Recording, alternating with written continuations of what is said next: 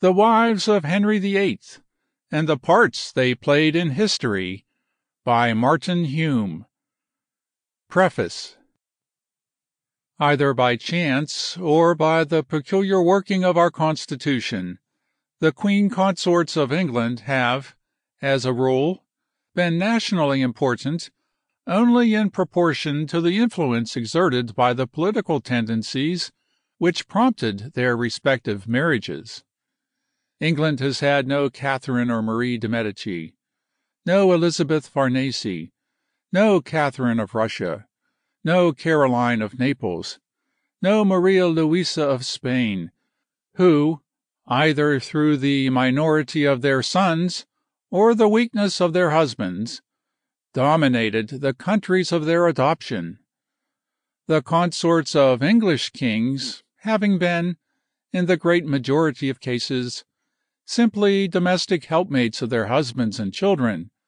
with comparatively small political power or ambition for themselves. Only those whose elevation responded to tendencies of a nationally enduring character, or who represented temporarily the active forces in a great national struggle,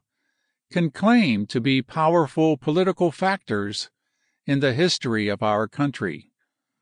the six consorts of Henry VIII, whose successive rise and fall synchronized with the beginning and progress of the Reformation in England, are perhaps those whose fleeting prominence was most pregnant of good or evil for the nation and for civilization at large, because they personified causes infinitely more important than themselves.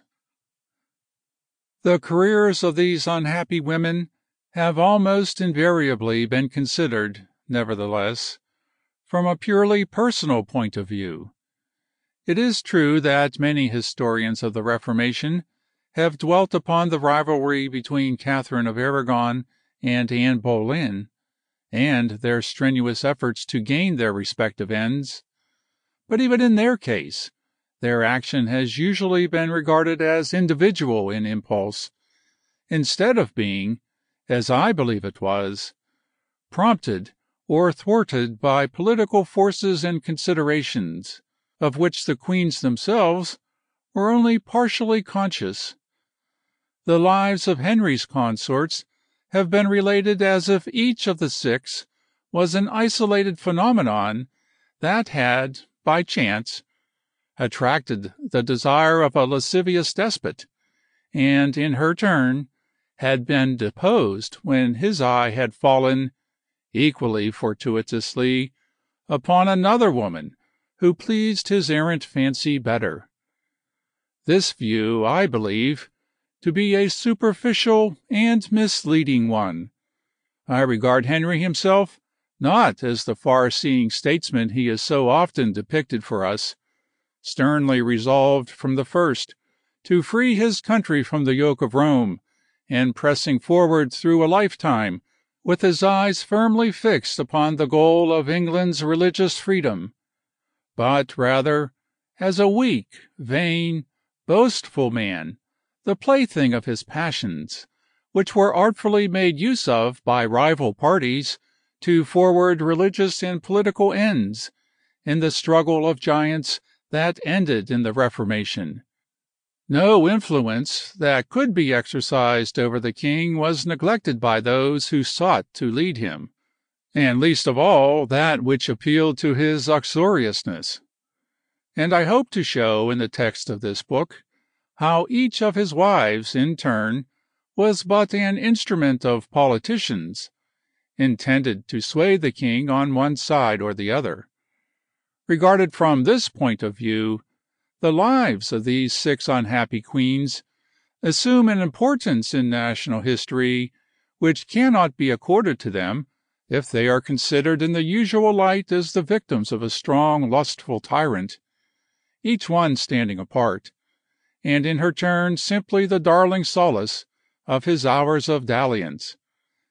Doubtless the latter point of view provides to the historian a wider scope for the description of picturesque ceremonial and gorgeous millinery, as well as for pathetic passages dealing with the personal sufferings of the queens in their distress. But I can only hope that the absence of much of this sentimental and feminine interest from my pages will be compensated by the wider aspect in which the public and political significance of Henry's wives is presented; that a clearer understanding than usual may thus be gained of the tortuous process by which the Reformation in England was effected, and that the figure of the king in the picture may stand in a juster proportion to his environment than is often the case. Martin Hume, London, October, 1905. End of section zero. Preface.